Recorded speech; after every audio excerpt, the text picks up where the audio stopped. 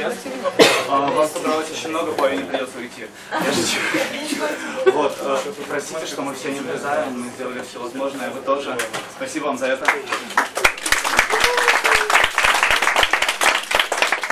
Вот. Давайте пока ребята оспорят, какой маркер круче. Все равно единственный пишущий у меня. Я вам расскажу, что у нас тут происходит. Вот. э, Мы всякие парни, у нас есть хобби, мы по вечерам Википедию читаем. Очень наутично. Вот. И мы решили, что надо собраться в какую-то субкультуру ребят, которые читают по вечерам Википедию и рассказывают друг другу, о чем мы прочитали на прошлой неделе. Э, Мы собрались, нам понравилось, потом мы собрались еще раз, еще раз, еще раз, еще раз, потом мы решили. «Хм, Давайте еще людей позовем. Мы позвали, они пришли. Это вы. Спасибо вам еще раз.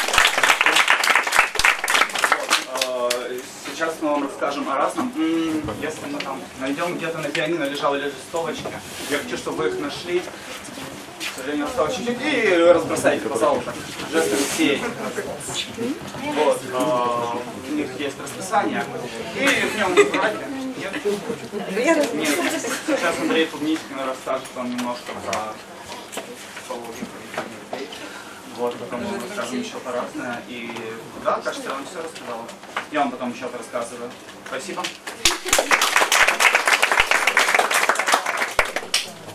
Добрый вечер. Меня зовут Андрей. Расскажу 15 минут самое интересное о психологии поведения.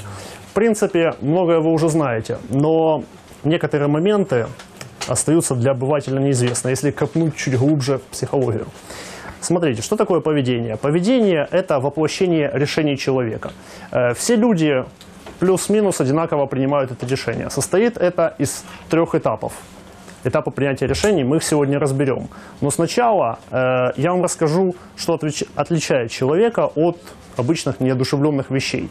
Чтобы принимать решение как человек или хотя бы как животное, вам нужно иметь три вещи. Это чувство, мышление и память.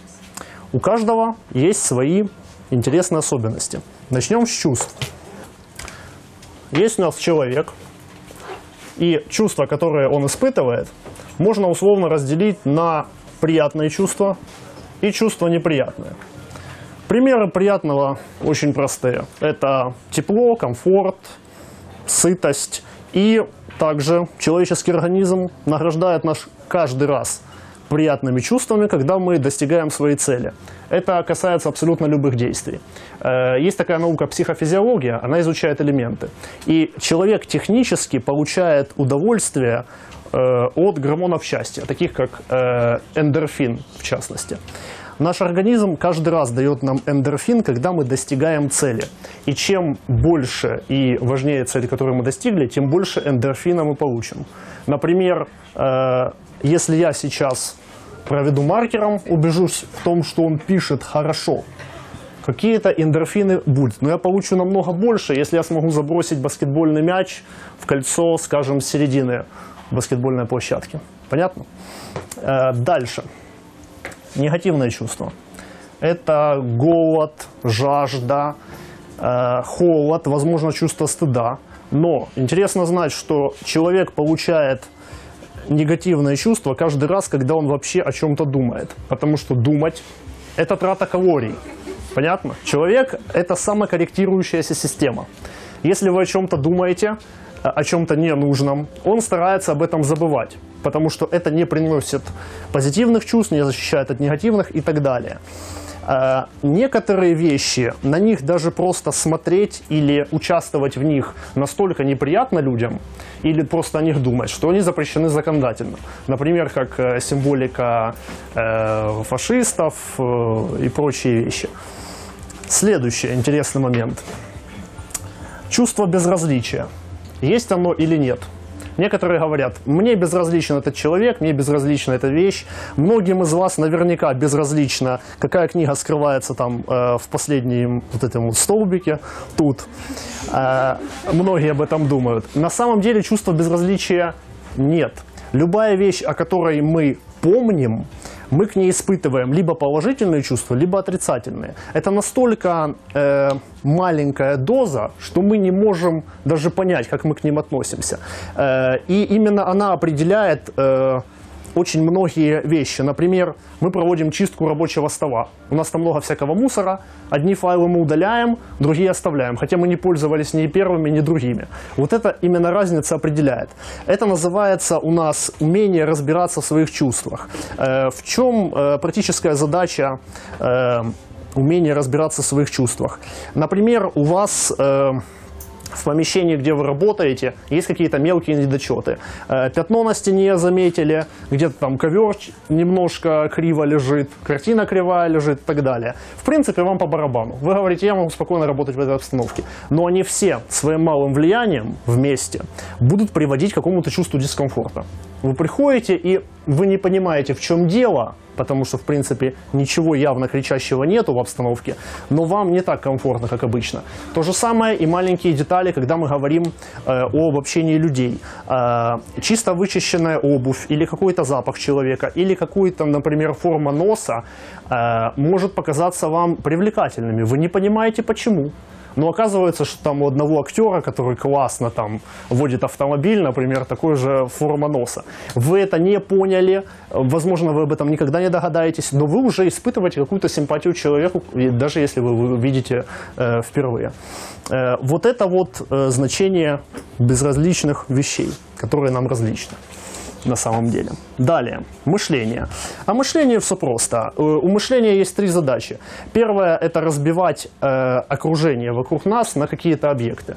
Э, и делать это максимально эффективно, то есть не думать об всяких мелочах, которые нам не нужны. Э, например, мы знаем, что каждая вещь состоит из атомов. Э, Каждая книга, допустим, в этой стопке состоит из страниц. Нам не нужно их делить вместе. Я обозначаю этот объект как просто стопка книг.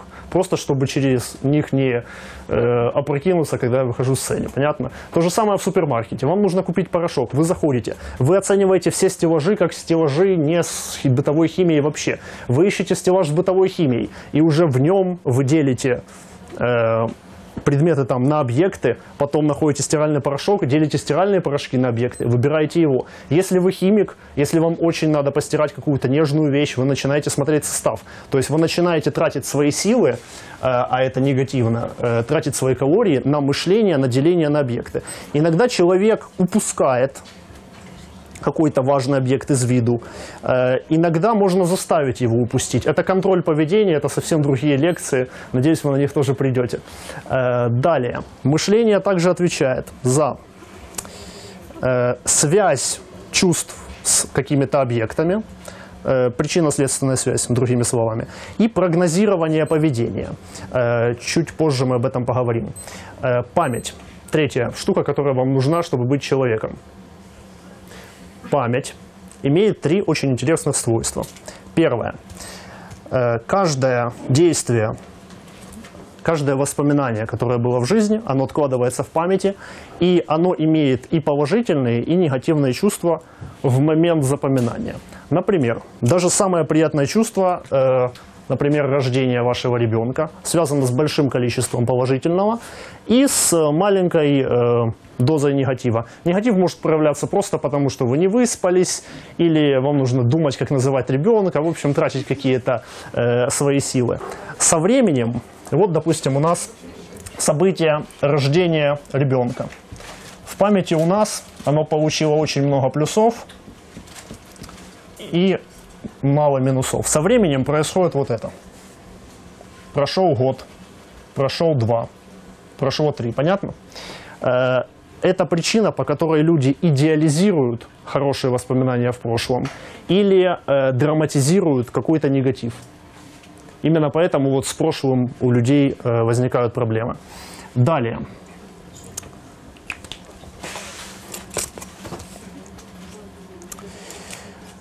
Чувства, которые мы испытываем, завязываются э, от конкретной ситуа- ситуации на каждом объекте. Э, Это очень сильно используют в рекламе, чтобы вы сразу поняли. Э, Допустим, красивые девушки в бикини на пляже с ребятами бегают, купаются и пьют колу. Понятно? То есть что-то приятное завязывается с продуктом нам неизвестным. Он может быть совсем невкусный, кому-то не нравится, допустим, э, и так далее. Но у человека завязывается чувство на этом. Я вам сразу буду приводить примеры, так намного проще. Э, рассмотрим теперь схему принятия решений. Я ее нарисую прямо здесь. Здесь у нас находится память.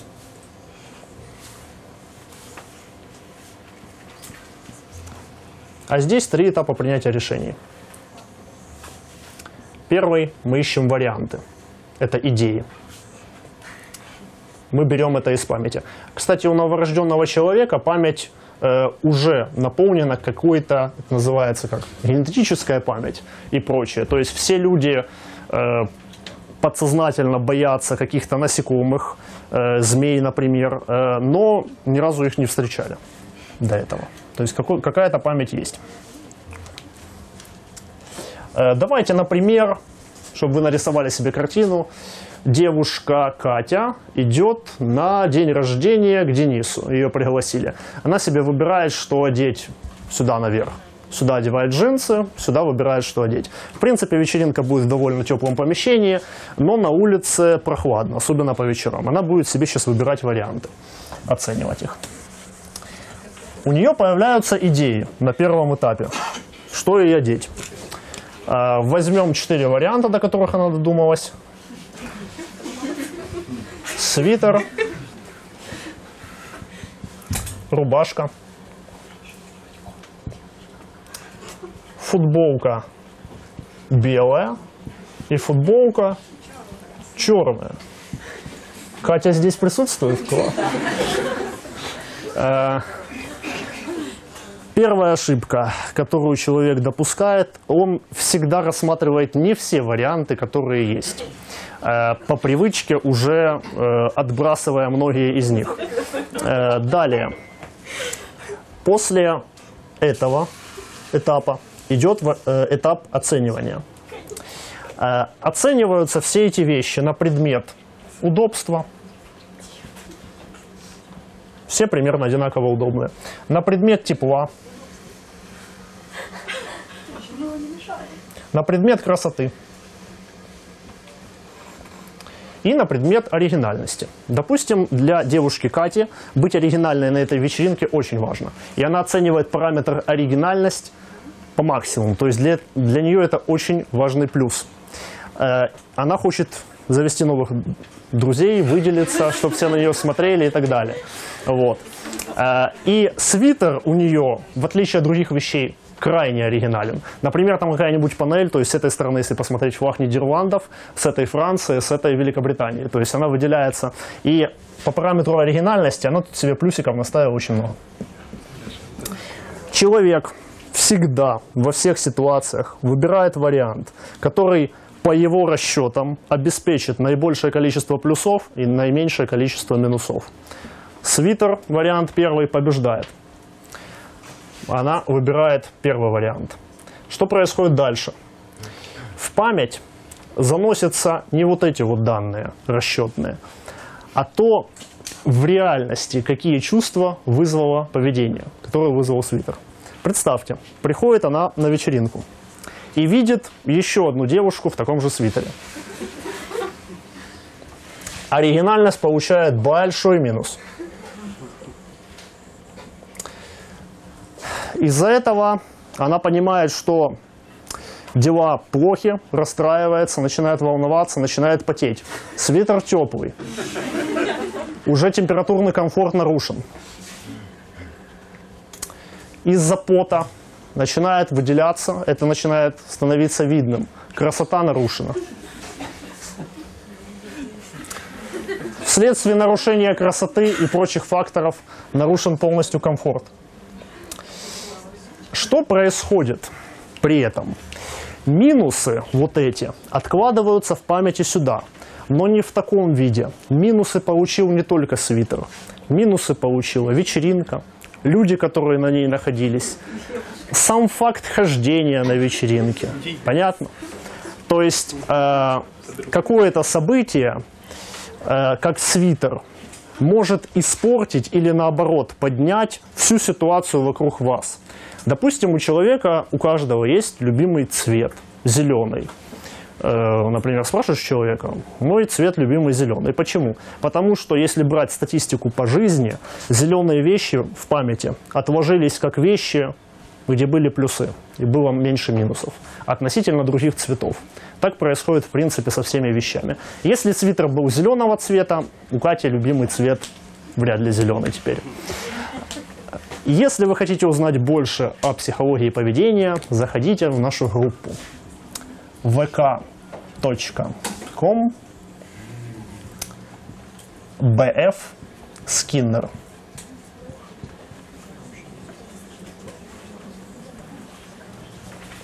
Спасибо.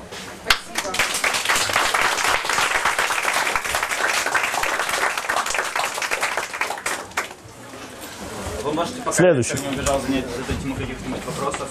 Потому что он убежал. А, вопросы? Видите, а ну, Да, да, да. Кстати, Саш, э, только сейчас по дороге мне Ваня рассказал, что задают вопросы. Мне это, мне это жутко понравилось, но я об этом уже забыл. То есть ловушка. Нет, это не ловушка, потому что, как правило, человек приходит и задает вопросы, а потом мы начинаем ему объяснять.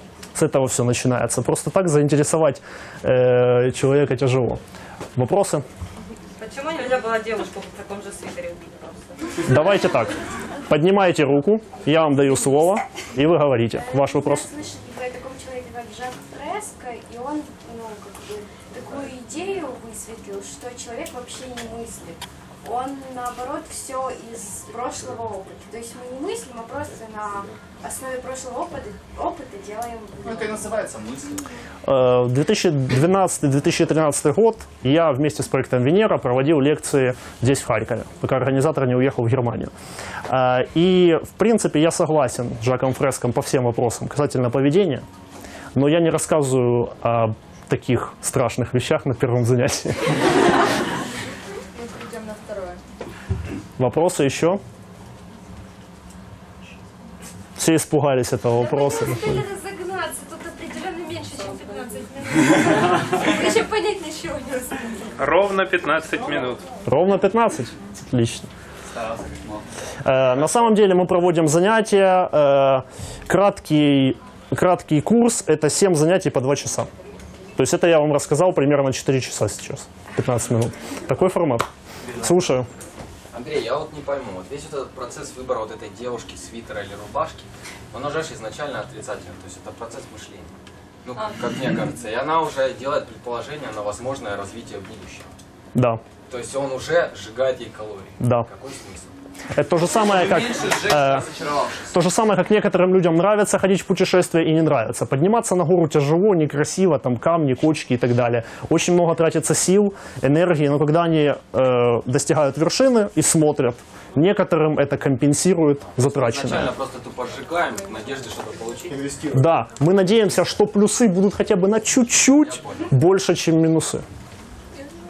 Слушаю. А есть люди, которым нравится думать, там, решать кроссворды, задачки, например? Да. То же самое с э, физической нагрузкой. Когда мы решаем какую-то задачу, получаются эндорфины. Физическую либо умственную. То есть затраты калорий будут меньше, кайфа получаемого от эндорфина. То есть от результата зависит. Да, именно от результата. Как биохимически объяснить э, минусы? То есть эндорфины это плюс, а Минусы я просто объясняю, как затрата калорий. То есть э, можно почитать в интернете, сколько тратится калорий на прочтение книги, в каком помещении, какой будет текст, э, развлекательный, научно-популярный, В научный. комфорте на работе, например, калории это не тратятся? Калории, калории тратятся всегда, пока человек жив. То есть жить – это минус затрат. Отсутствие плюсов это минус получается, правильно? Э, да, да. То есть если здесь ноль, а здесь какой-то минус есть, это минус. Причина самоубийства, кстати, тоже отдельное занятие. Слушаю. Люди любят холод. Как бы это относится к минусу, но почему они все-таки его любят? Это опять же генетическая память или чем? Это Смотрите, на каждую вещь, допустим, у нас где-то в памяти находится холод. Когда-то с холодом, значит, у этого человека были связаны очень хорошие события, может быть, воспоминания. Холод к этому не имел абсолютно никакого отношения, понятно? Допустим, он, э, человек, э, оказался в какой-то тяжелой ситуации вместе с любым человеком. Вместе. Допустим, э, завалило проход в горах, они не могли выйти. Но он решил эту ситуацию, получил огромное количество плюсов от решения ситуации, э, получил любимого человека, получил огромное количество эндорфинов. И ему нравятся такие задачи теперь. То же самое, как разгадывание кроссвордов. Какие-то трудности, преодолевая которые, мы получаем плюс. В- э, меня Да, слепят. Да, да, да, слушаю.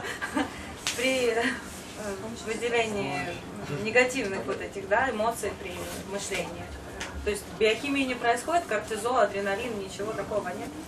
Там очень много всего происходит. Настолько много, что даже еще не Но до конца этого При изучили. плюсах это интенсивнее, правильно я понимаю? Нет. Это зависит, э, очень много зависит от конкретного человека. Ну я буду психовать, если буду думать. Не начинайте, пожалуйста. Как говорят психологи, как говорят психологи, вы хотите об этом поговорить. То есть это, когда мы говорим, я здесь рассказываю, как работают 100% э, людей. Э, То есть если у кого-то нет памяти, то это уже Ну не совсем человек, да. То есть, э, слушаю. Да. Ага, можно теперь самый интересный и важный вопрос. Так, э, ну, хотя он общий довольно. Ну, можно и кор- коротко ответить. Что конкретно вам дало изучение вот психологии поведения? В каких-то моментах? Какой-то пользу вам принесло, возможно, по жизни? Да, я нашел для себя ответы на вопросы, которые искал, которые не дали мне ни школьное обучение, ни э, университет, ни какие-либо другие источники.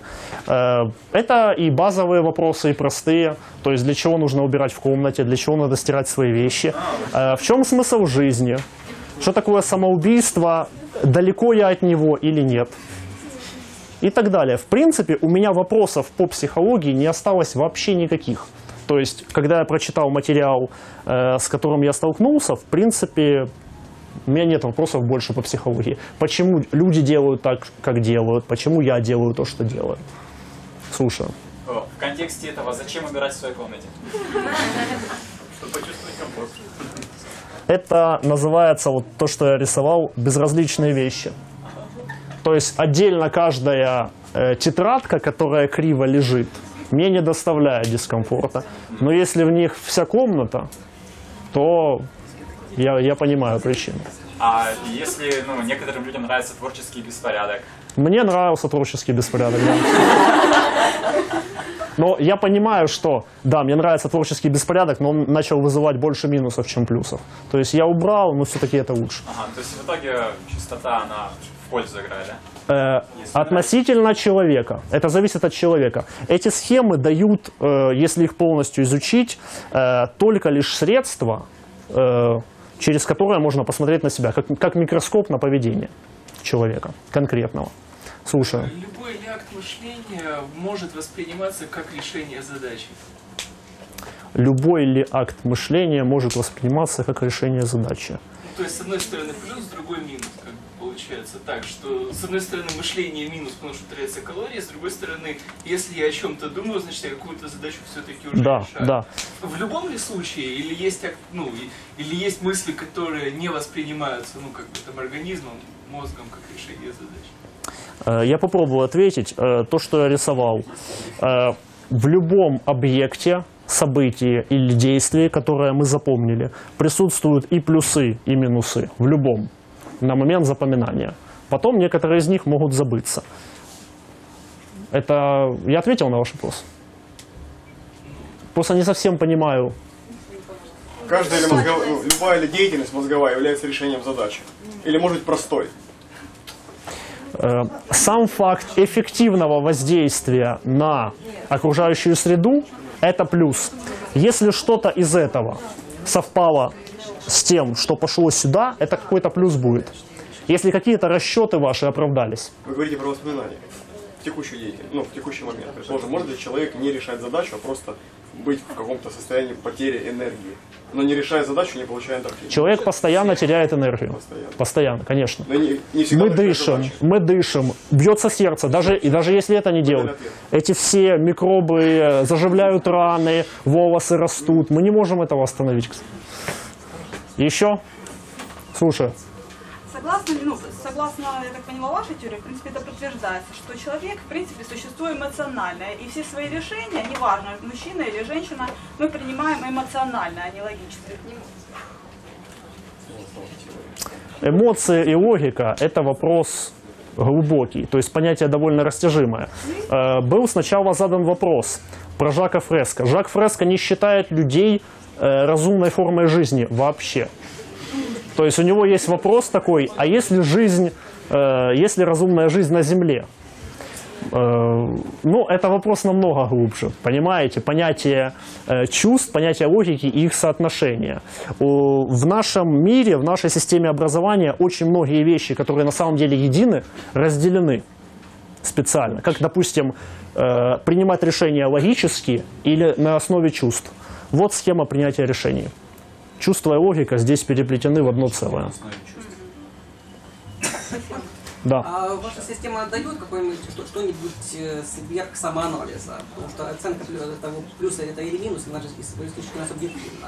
Вы для себя можете понять, что это плюс или нет, а другому человеку это не можете рассказать? Э, Смотрите, э, когда мы говорим о каких-то результатах, результаты должны быть четко измерены и определены. Мнение человека о нем самом, мнение человека об его поведении, либо э, какая-то оценка не может быть точным параметром. Точным параметром, которым пользуется наука, является непосредственное поведение. То есть, сколько раз девочка одевала свитер, сколько раз она ходила на вечеринки. Именно это можно померить, четко обозначить, определить статистику ее поведения, вероятность одевания свитера на следующую вечеринку или хождения к кому-либо. Слушаю. Каким тогда образом соотнести затраты калорий к удовольствию от эндорфинов? Как измерить, э, ну что это действительно того стоит? Это основано на опыте человека, который в памяти сохраняется. Но он решает сам. Плюс это или минус. Да, то есть на всех этих этапах человек может допускать огромное количество ошибок. Например, упускать какие-то варианты, это самое первое. Допустим, если девушка захотела всем запомниться, она могла ничего не одевать вообще. Она получила бы много других минусов, но в памяти людей она бы осталась, потому что она вызвала люб- э, большое количество чувств. Такого никто не делал, понимаете? То есть э, в памяти откладывается то, что вызывает наибольшее количество чувств, неважно каких. Хороших, плохих и так далее. Вот. Э, ответил на вопрос? Частично. Я знаю, я, я на все сейчас частично отвечаю. А, последний вопрос. Это был последний вопрос, Саша.